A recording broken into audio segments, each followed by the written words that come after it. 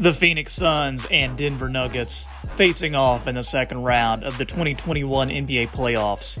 You know what? I love how these teams have built their rosters, and now they are getting a chance to showcase themselves on the big stage. This series has lots of storylines, lots of intrigue, and in today's video, I'm previewing the matchup and giving you my prediction for who will win it. Suns and Nuggets. Nuggets and Suns. Man, oh man, I am gonna need some Coppertone and sweet and spicy dipping sauce for this series. And can I just say, it's kind of cool seeing these two teams meeting up at the playoffs for what is sure to be a fun time. Guys, so glad you could join me on today's video. My name is Troy, and this is the Half Court Report YouTube channel. Make sure you drop a like on this video. It really helps out the channel, and it tells YouTube to show this content to more people.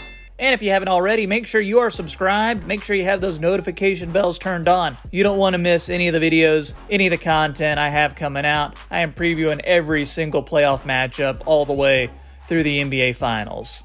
And you know what? Thrive Fantasy wants to make sure you're still getting your fantasy fix, even through the NBA playoffs. I'm a big fan of these guys. With Thrive, you can eliminate the countless hours of research and focus on only the top tier athletes that have the biggest impact on the game. So here's how this works you choose your available player props to build your lineup. Each prop is assigned a fantasy value for both the over and the under based on how likely it is to hit. And if you do hit the most props and rack up the most points, you're going to win a share of the prize pool. Thrive has over $20,000 guaranteed in prizes weekly, and get this, they have awarded over $4 million in prizes.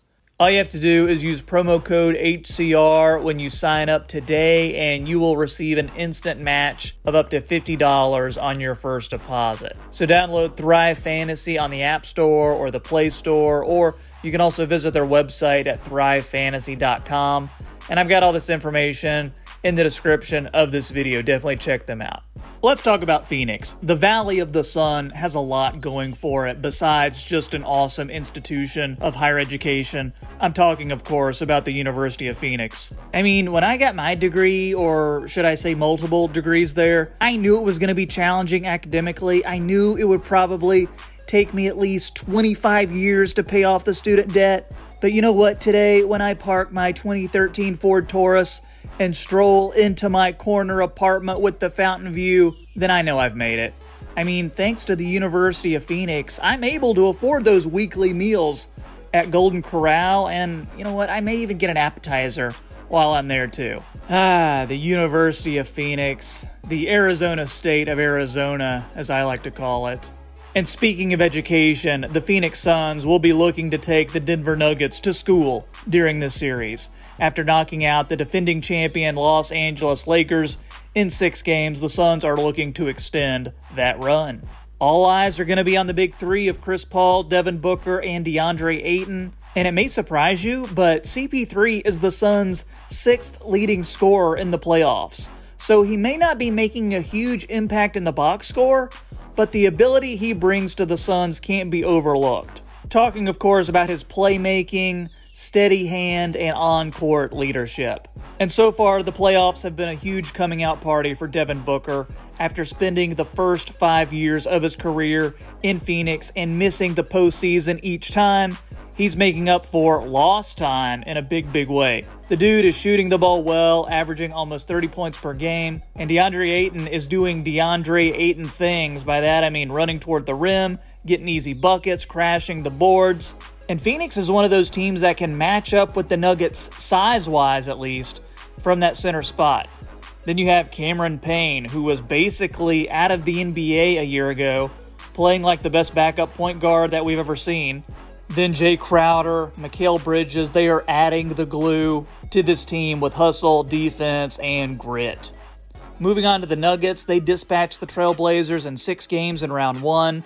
There's so much to love about this team. The way they have built through the draft, the way that they always play together, everyone on the floor understands their role, it's beautiful basketball, and it makes this an easy team to root for. After coming up short in the Western Conference Finals last year, they are back with something to prove, and they are ready to show they belong in the conversation as one of the elite teams in the NBA. So let's go through this Nuggets roster to see what the Suns will be going up against. Nikola Jokic, he is my pick for the MVP this year. If you go by stats, he's top 10 in the NBA in points, rebounds, and assists.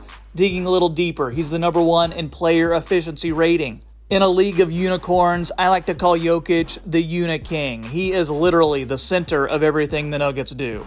And how about Michael Porter Jr.? You know, he is more than just Jontay Porter's big brother, okay? He scores at all three levels. He's coming into his own and has matured as a playmaker, dribbler, and a shooter.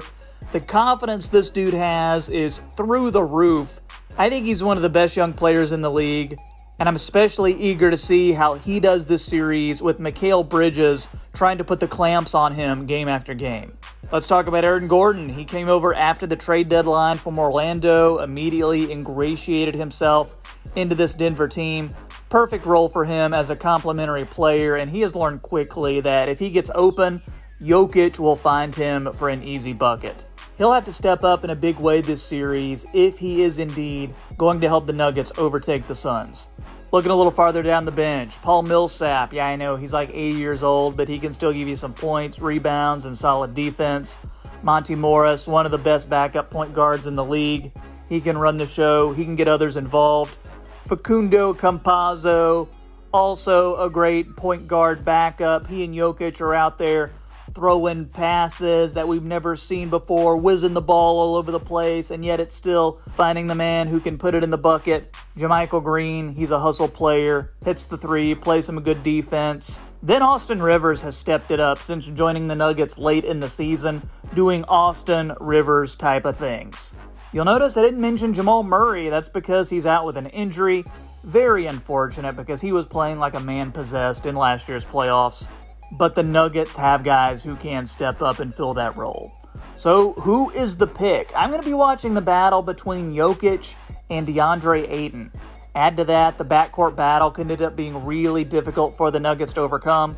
Can Austin Rivers and Facundo Campazzo go toe to toe with Devin Booker and CP3 for seven games? This is where the absence of Jamal Murray and Will Barton, who's also injured, is really going to sting. The Nuggets will be facing a different animal in the Suns defense as well. Portland didn't present much of a challenge in that department, but the Suns have a top 10 defense in the NBA. Nikola Jokic alone will be enough to keep you in this series for a few games, but I see this one ending in six games with a series victory by the Suns. Hey, I need you to let me know in the comments who you have winning this series. Drop your predictions down below.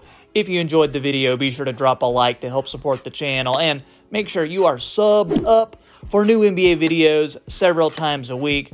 Make sure to check out the boxes on the screen for more NBA content just like this. My name is Troy. Thanks for watching, and I'll catch you next time on the Half Court Report.